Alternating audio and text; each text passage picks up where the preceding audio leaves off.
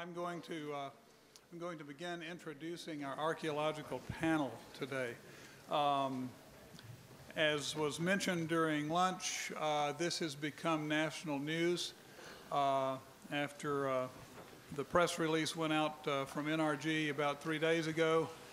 At least some newspapers picked up on it, uh, most notably the Dallas Morning News, and a, I must say, a really smart reporter uh, who deserves some credit, Elizabeth Souder, S-O-U-D-E-R, uh, who spent a lot of time uh, interviewing people and getting the story straight and not, uh, she's the business, she's the energy reporter for the business section of the Dallas Morning News, but she's also a native Texan and a history buff. And she really took a very great personal interest in this story. And I think uh, she's one of those really good reporters who, uh, who does a great job and, and, uh, and, and, uh, and takes her work seriously. Uh, and, and I think all of us are in her debt who are up here on the, up on the stage today because she's helped to get this story into the national news. It was picked up by the AP, and I think more media may pick it up as time goes, uh, as time goes by. Um,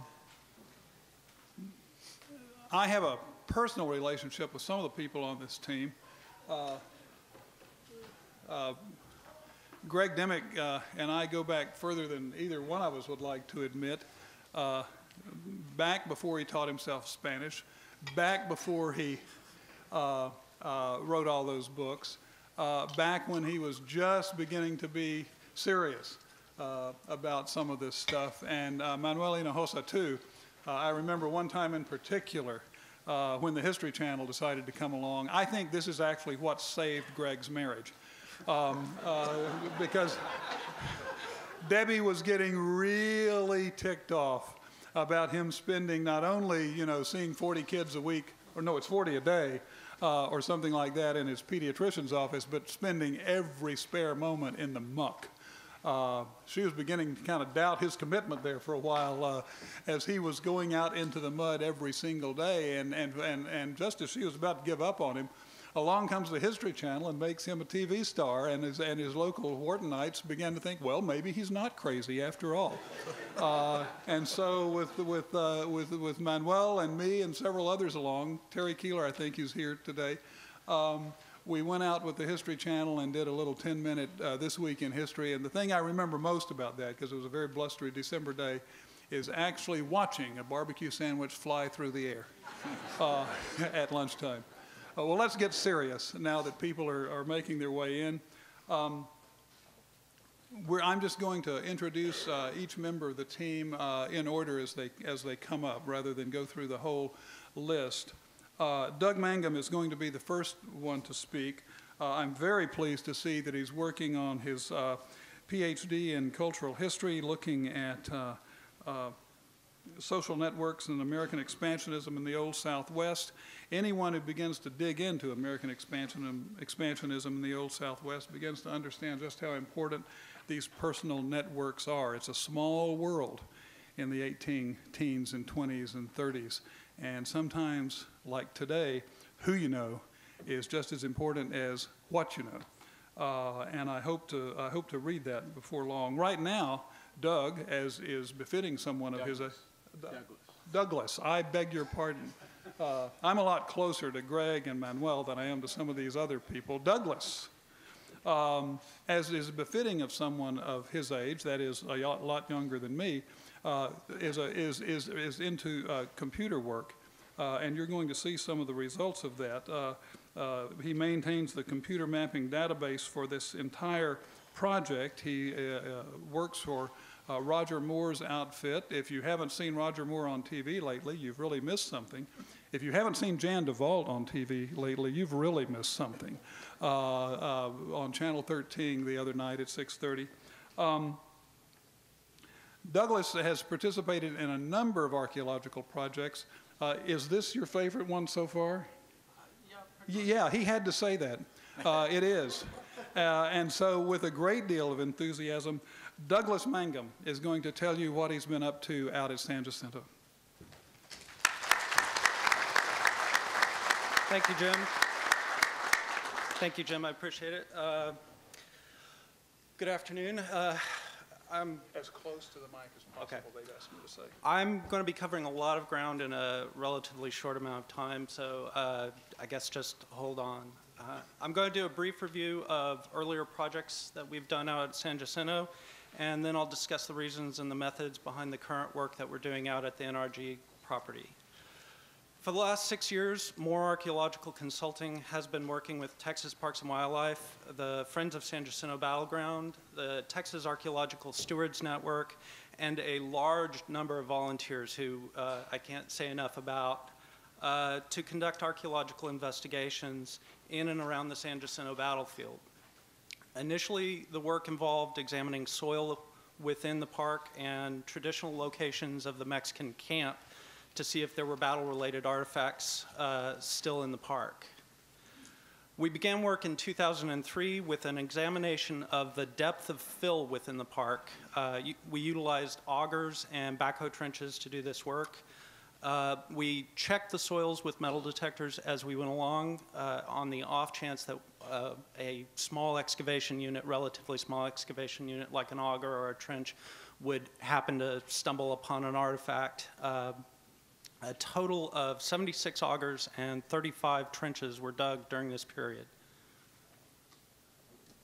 And uh, you, you can see on the upper left is a map of the location of these trenches and these augers. Because of this work, we were able to determine that some of the locations within the park have artificial fill soils overlying the natural soils. And this, it helps us to know this because uh, if there's a certain level of, of fill, then often the metal detectors simply can't reach the natural soils to detect them. With this information, we were able to develop a map uh, with the depths of these soils. You see that in the lower right, uh, sort of a reverse topo map showing the, the depths of those fills and the locations. It's not complete, but it, it was as much as we could do. Uh, we also recovered one button just by chance uh, that may or may not have been battle related. It, it's probably period, but determining whether it's, it's battle related, we just couldn't really do. The next step was to conduct a metal detecting survey of the Mexican camp area to see if battle related artifacts remain there. Uh, work on this step again in 2004, and uh, immediately we recovered a, a surprising number of battle related artifacts. Uh, we used methodology that had been developed by previous uh, battlefield archaeologists, uh, right back to uh, progenitor Doug Scott, who, as you know, couldn't make it today. Um, also, we made sure that our methodology fulfilled the requirements of Texas Parks and Wildlife and the Texas Historical Commission.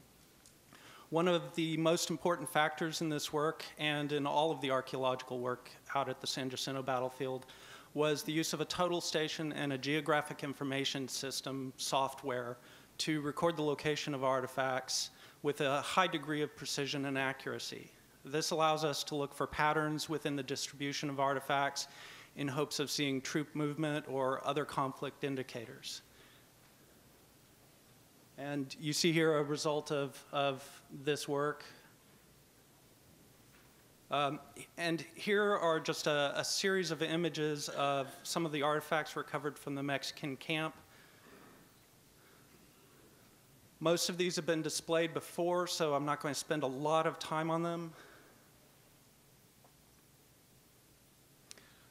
Uh, there are a rough total of, of 250 50 battle-related artifacts, as well as a number that we're less sure of may or may not be battlefield related. Um, in the upper, the upper middle is a, a group of musket balls, and uh, that really was the main item that we have found. Uh, makes up the, the vast bulk of, of the battle-related artifacts. However, we've also found gun and uniform parts, personal items, and artillery shot fragments, which, going back a bit, uh, here you see uh, two canister bases from a type of uh, shot used in cannons to basically turn them into a shotgun.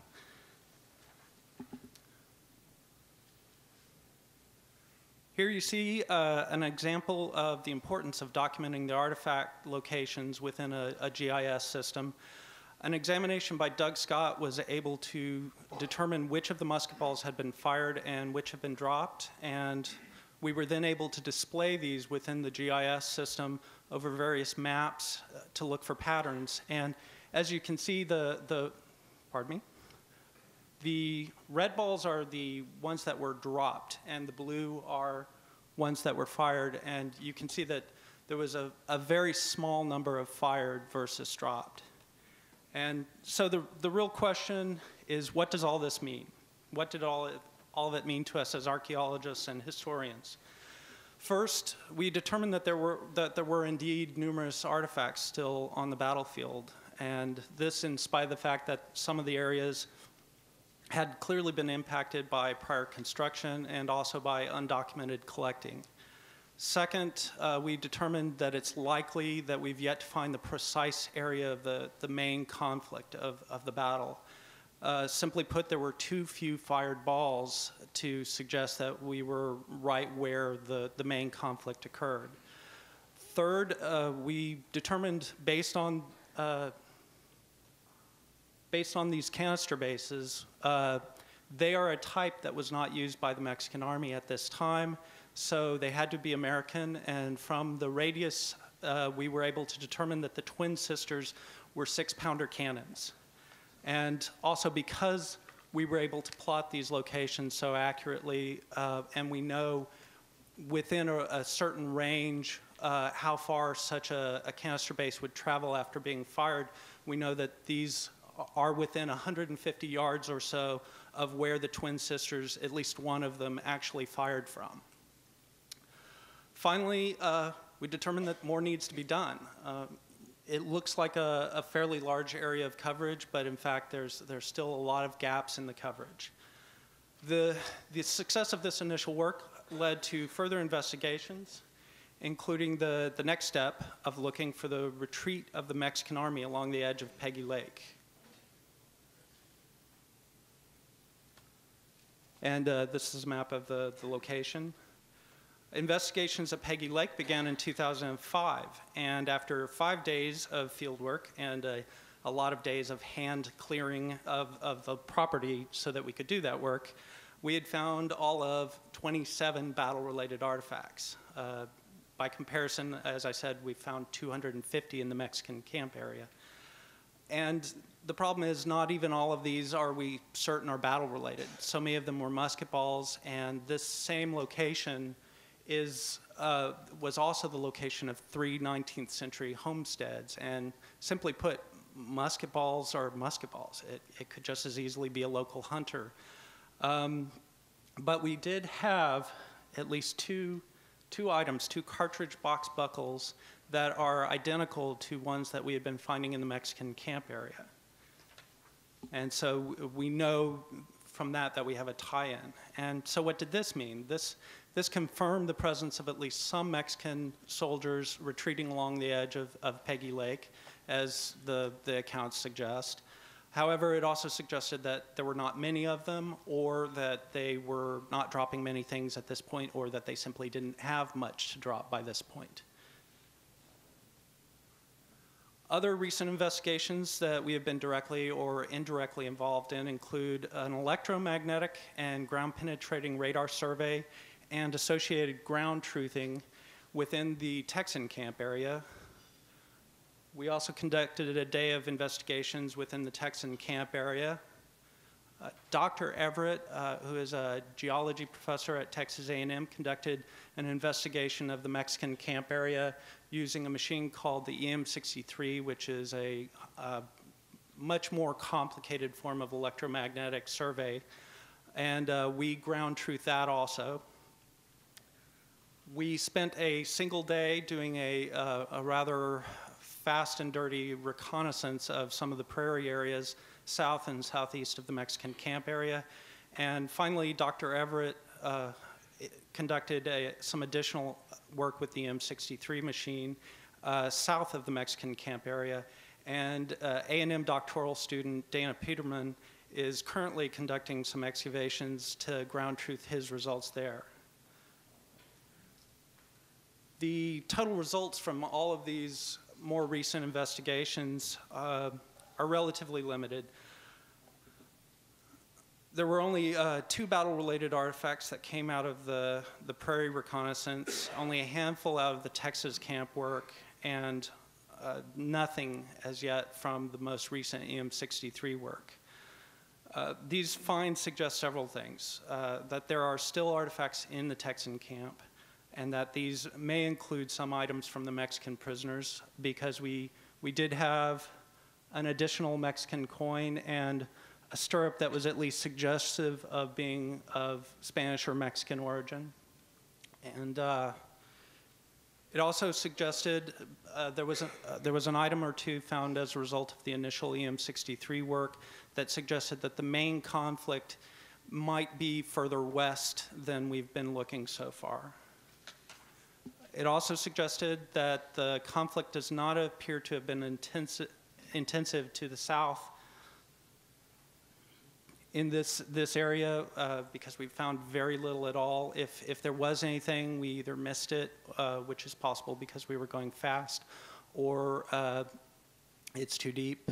Uh, and finally, the, the EM63 work, uh, here you actually see Dr. Everett uh, trailing his EM63 machine across the surface. Um, we were able to determine that uh, the EM63 kind of has a hard time finding small items. It's, it's very good at finding large items, but uh, we actually tested it against a musket ball in, in the ground and just couldn't find anything. However, uh, all of this work is still preliminary. So at this point, I, I want to mention, uh, as, as Jeff did during the, during the lunch, the importance of old maps and old aerial photographs to our investigation. Uh, we've learned a lot from these sources. Uh, for instance, the Yoakum map that, that Jeff mentioned uh, from 1856, we dis discovered that uh, it is actually quite accurate. And uh, we've been able to put that in tandem with this 19, pardon me, 1930 Tobin aerial photograph to get a, a, better understanding of what the landscape and the tree lines and such of the battlefield probably looked like in 1836 at the time of the battle. We've also been able to use this 1913 Corps of Engineers map, which uh, they spent months putting together and surveying.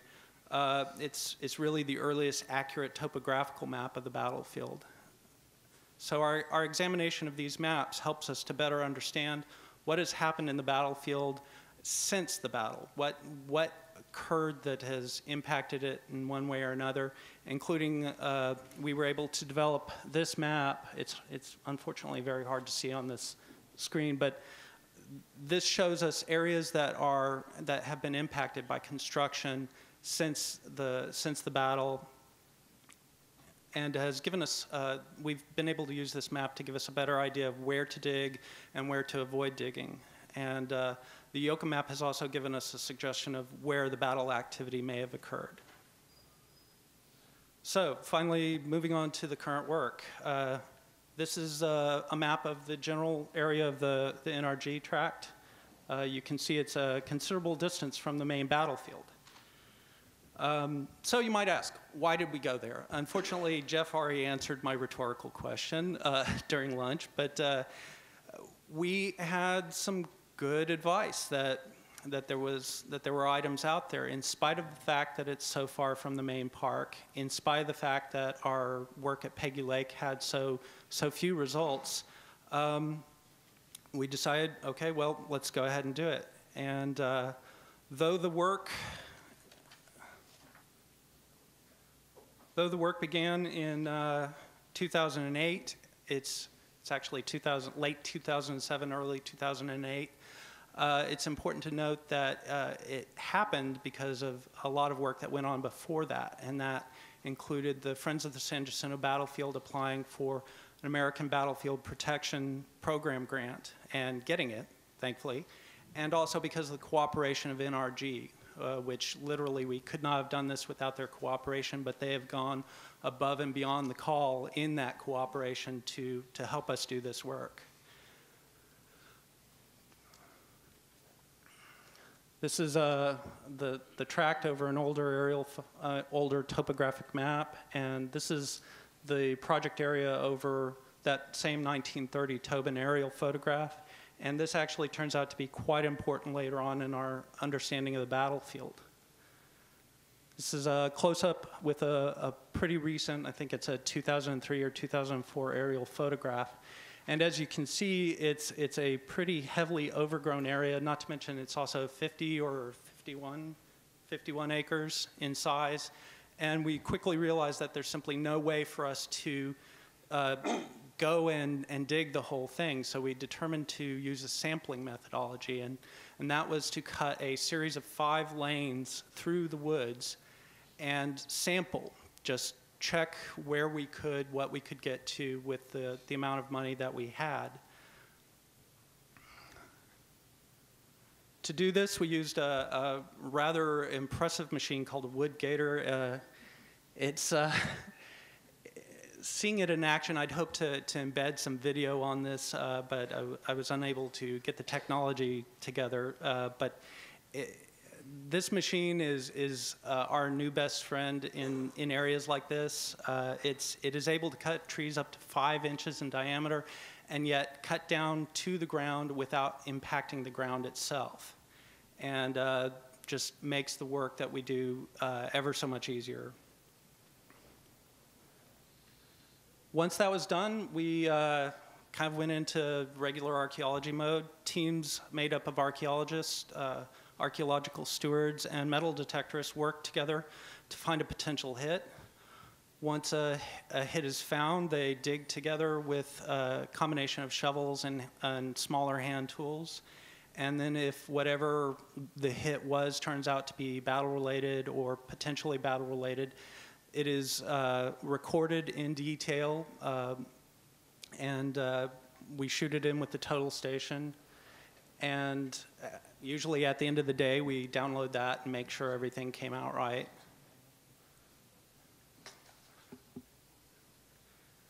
After we surveyed the five lanes, uh, this is what we found. It's, uh, again, a little hard on this image, but what we ended up with was two clusters of artifacts in lane two and lane three.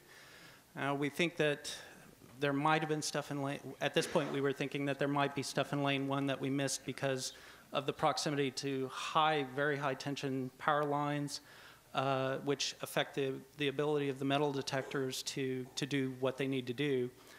Um, this is a, a better map, but we, pretty early on, we, we began to, to suspect that uh, rather than simply being two clusters, that these might be two representatives of a, a larger uh, artifact assemblage. And so we did some hand clearing uh, in, in areas that weren't terribly overgrown and conducted some more uh, excavations and added, I'll kind of go back and forth so that you can see, added a considerable number more artifacts which strengthened our belief that uh, we were talking about a, a, a formation of artifacts rather than just two clusters. And that led us to the, the decision to go ahead and cut something we called a zipper, which was a, a sampling lane which went back and forth across and beside. This was served the, the dual uh, effect of helping us fill in some of the gaps and also making sure that the, the linearity of artifacts didn't actually expand to the north or to the south. And this is what we found. Again, I'll, I'll go back and forth.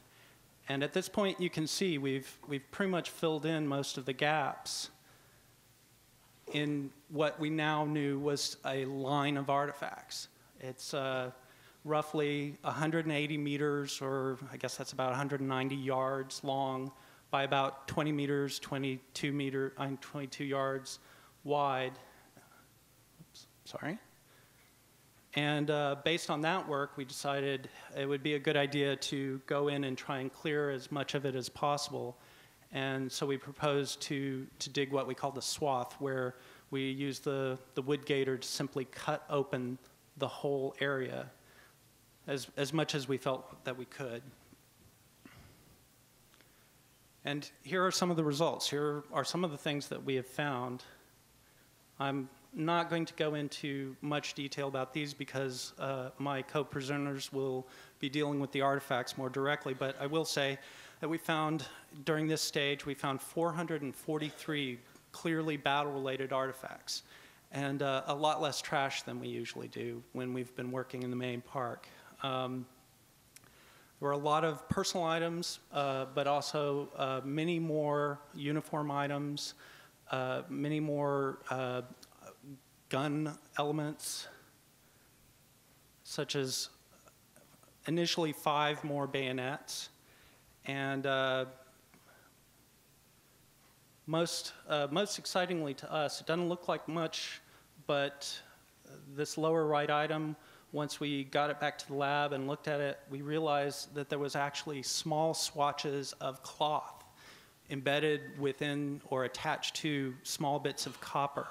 And apparently, uh, the copper, as it, as it uh, sits in the soil and gets wet, it actually generates chemical properties that, that preserve the cloth. And so, what we're looking at is small swatches of Mexican uniforms. And uh, we, we haven't gotten to do much with them yet. We've only recently got them back from conservation. We're hoping to find somebody who, can, who has the expertise to look at them and tell us more about what it's made of and uh, maybe where it was made and what methodology was used.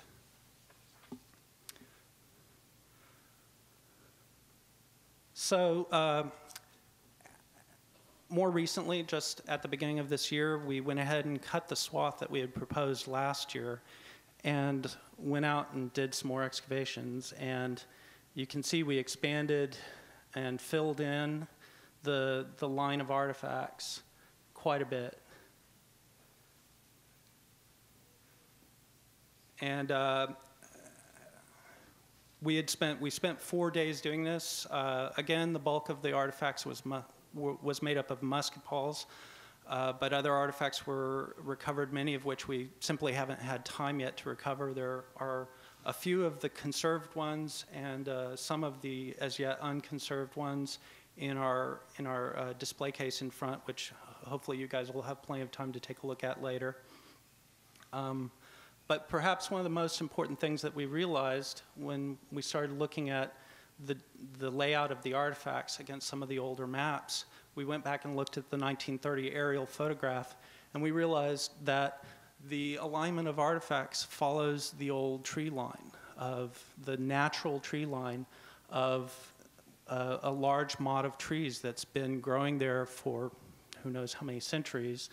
Uh, it's if you go back, you can see now the whole area is covered by Chinese tallow, which will pretty much grow anywhere.